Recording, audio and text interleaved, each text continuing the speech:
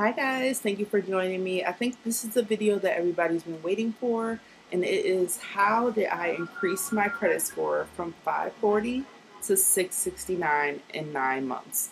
Um, it wasn't difficult, I don't think. Like I definitely did a lot of YouTube research, um, but I don't think it was difficult at all. I started going to a financial counselor in the beginning of 2017.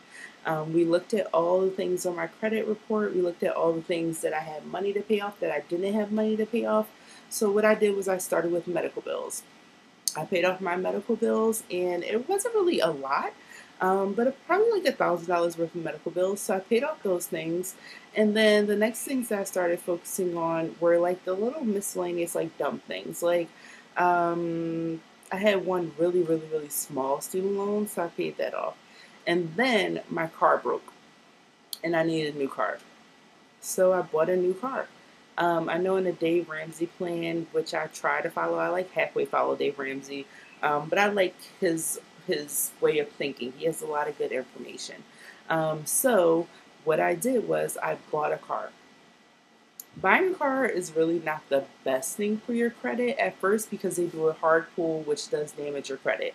But in the long run, it became the best thing for my credit score because I made payments on a regular basis. So I made payments on a regular basis. My car payment is $246 a month.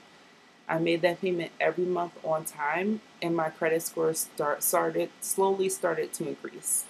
Then I got all of my student loans on income-based repayment. So they were all current.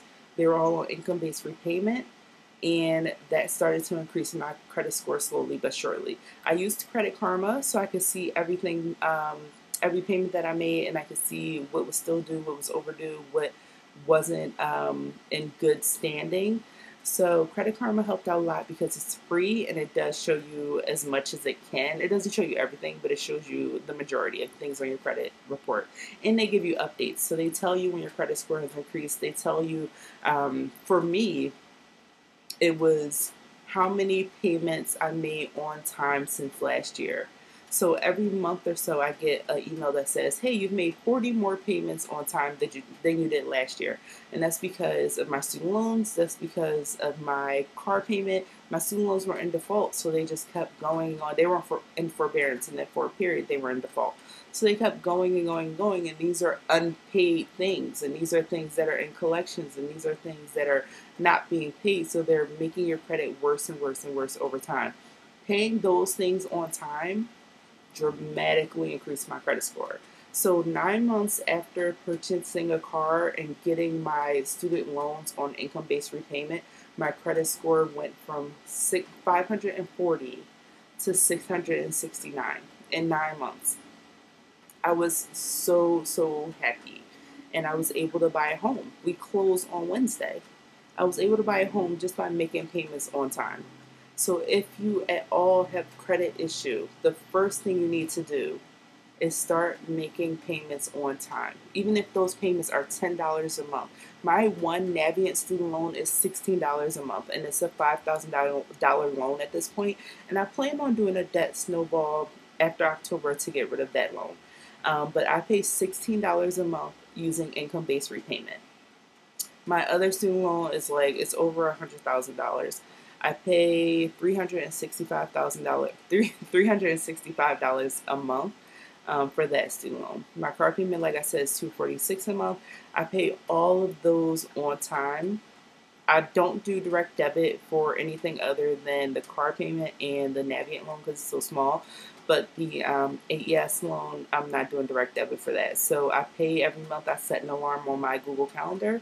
I pay it every single month on time the best advice I can give you for increasing your credit score is to get on automatic payments and pay on time. If you pay on time, it doesn't matter how long that account has been there, you start paying it on time and they'll see the next year or the next three months or the next six months that they've paid 12 payments on time and it'll increase your credit score. I went up 129 points in nine months and I was able to purchase a home. And you can do it too.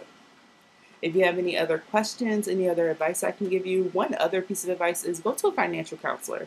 Here in Philadelphia, we have a program through the city called Clarifi. Clarifi is free. They're all over the city. There are even some outside of the city. Look up clarifi.org. It's C L A R I C L A R I F I dot org. Clarifi.org. They have um, financial counselors. They put on retreats, they put on different seminars, and they will teach you how to buy a home. They will go, you can go to a financial counselor every single month. Bring your pay stubs, bring all the bills that are due, and they will help you go step by step by step. They teach you about credit, they teach you about buying a home, they teach you about saving, they teach you how to save, and just take it one step at a time. If you need that help, find a free program in your city and go get that help because I needed that help at first. I really did. And I had a great counselor. Her name was Kiala, I think, and she was just amazing. And I went to her for about six months, and then I finally got it in my mind okay, I know all this information. Now let me start getting all of this together. Because at first I was going into her office crying because they were talking about taking $1,100 a month for an AES student loan. And I just couldn't afford it. I have, a, you know, at that time I had one child, but I just couldn't afford it. So I went to her and she told me exactly what to do and broke it down for me in a way that I can understand. And it took me six months to get on board. It took me six months to get sick and tired of being sick and tired. And I finally got it done. And it was easy. And now I have two student loans and a car payment to take care of, and I'm buying a home. I'm not feeling like I'm bogged down in debt because I know how to handle it now. It's sometimes you just need the information. You need somebody to say, listen, it's not that big a deal, but if you wait another six months, it's going to be a big deal. So just sit down and let's focus and let's do this. And sometimes that's exactly what you need. And I think that's what I needed because I went to her for six months and didn't make a move. And then finally, I was just like, what the hell am I doing? She's giving me all this information. Make it work for you. Make it work for you. So that's what I did. And I feel great.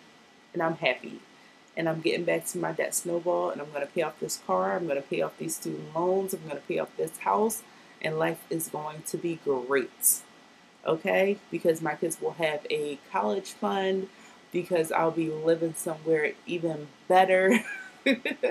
okay? Believe it and you can make it happen. Believe it and you can make it happen. I want to thank you guys so much for watching this video.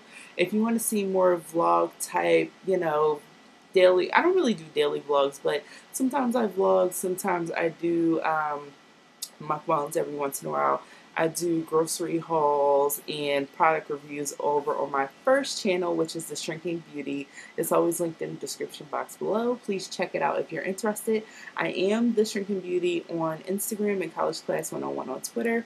Um, I hope you guys enjoyed this video. For more financial information, um, for my financial experience, because I'm not an update, but I can tell you exactly what I did. Um, please come back to this channel, subscribe if you haven't, and hit the bell notification if you would like more content. Thank you, and I'll see you guys next time. Bye!